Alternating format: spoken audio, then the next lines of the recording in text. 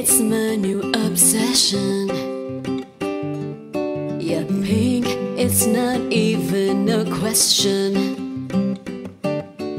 Pink on the lips of your lover.